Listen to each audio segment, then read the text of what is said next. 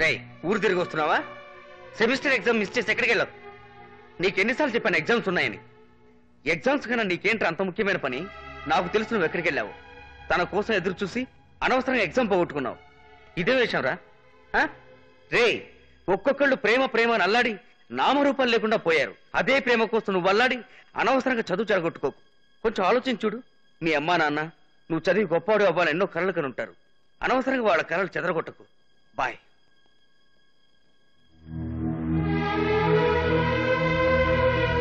ఇంటికి ఠికానా లేనివాడు నీకెందుకు నా చదువు?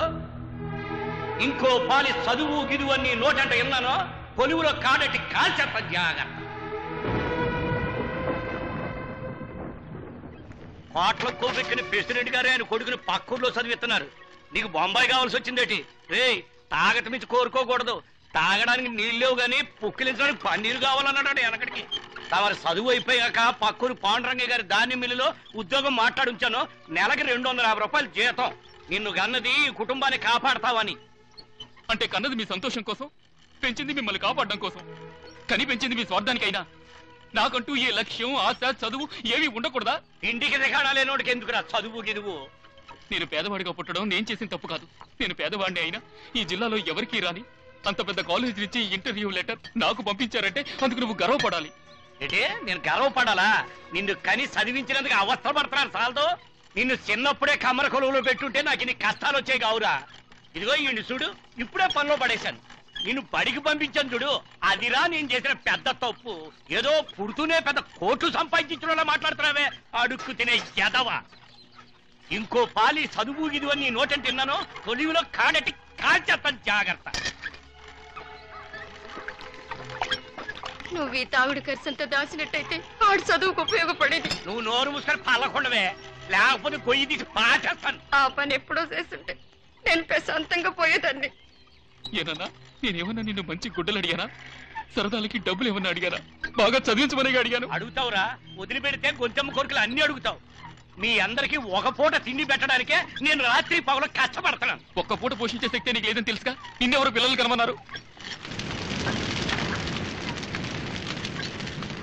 సరిగ్గా తిండి పెట్టలేవు కానీ సంవత్సరానికి ఒకళ్ళు మాత్రం పుట్టిస్తాం. అది నువ్వు కుక్కవు కదా పొగరెక్కి మొరుగుతావు. రేయ్! రేయ్ నిన్ను! రేయ్ నిన్ను!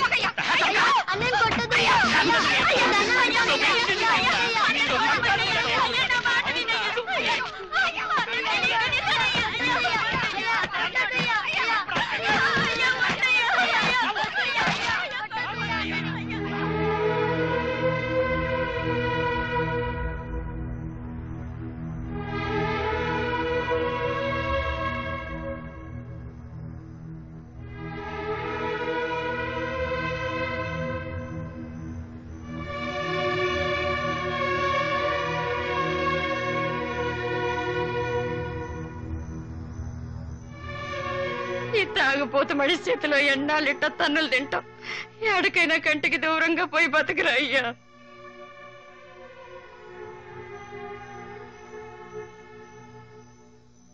నేనేమన్నా తప్పుగా మాట్లాడుంటే క్షమించు నాన్న.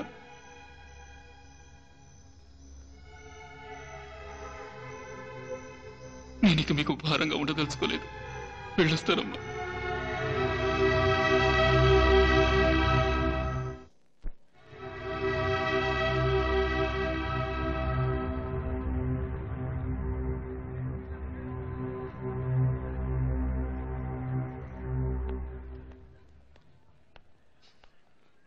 ఈ మేనేజ్మెంట్ స్టడీస్ చేసే వాళ్ళకి ఒక రెస్పాన్సిబిలిటీ ఉండాలి.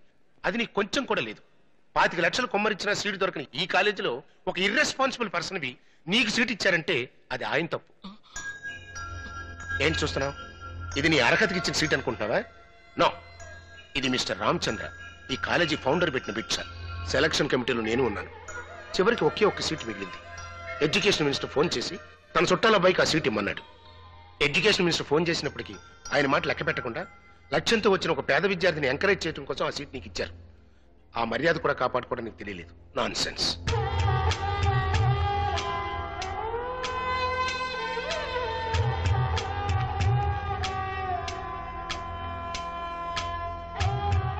నా తెలివితేటల వల్లే నాకు సీట్ వచ్చింది అనుకునేవాడిని ప్రొఫెసర్ చెప్పిన తర్వాతే నాకు నిజం తెలిసింది.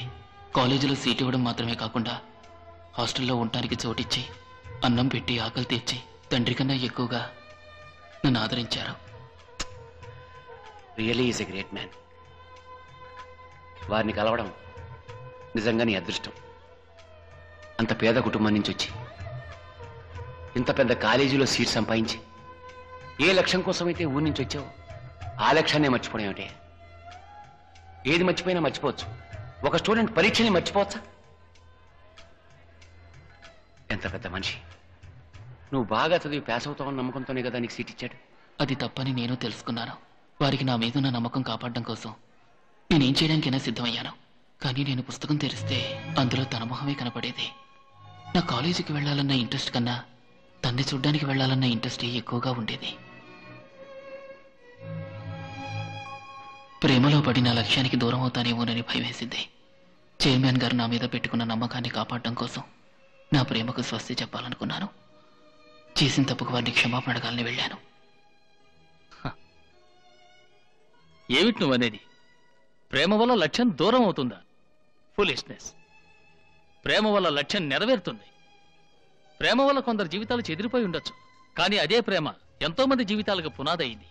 సి ప్రేమ ఒక గ్రేట్ ఎనర్జీ సవ్యంగా ఉపయోగిస్తే జీవితంలో ఏదైనా సాధించవచ్చు ఒక ఎగ్జామ్ మిస్ అయినందుకే ప్రేమను మర్చిపోతానంటున్నావు? ప్రేమనంత తేలిగ్గా మర్చిపోలేము అలా మర్చిపోతే అది నిజమైన ప్రేమ కాదు. నో సార్ నేను తన్ని నిజంగానే ప్రేమిస్తున్నాను. నువ్వు తను ప్రేమించింది నిజమైతే అది నీ చదువుకి లక్ష్యానికి సహకరిస్తుంది. కమాన్ గో అహెడ్ గిల్ పాపు మేరా గిల్ పాపు. చెట్టు మీద మేరా గిల్ పాపు.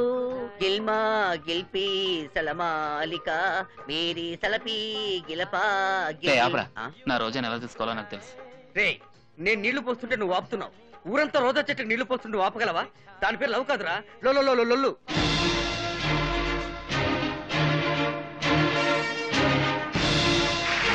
Top 10 Colleges 1998.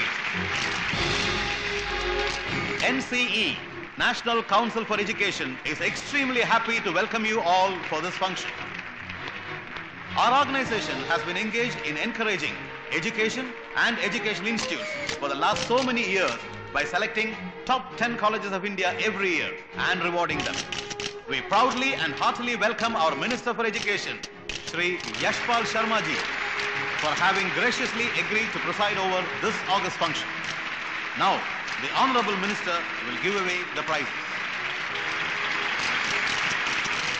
Number 10 position this year has been bagged by Symbiosis College of Management, Mumbai.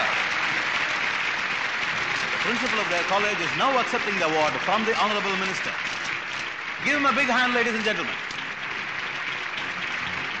The college placed ninth this year is Indian Institute of Medical Sciences, Bangalore.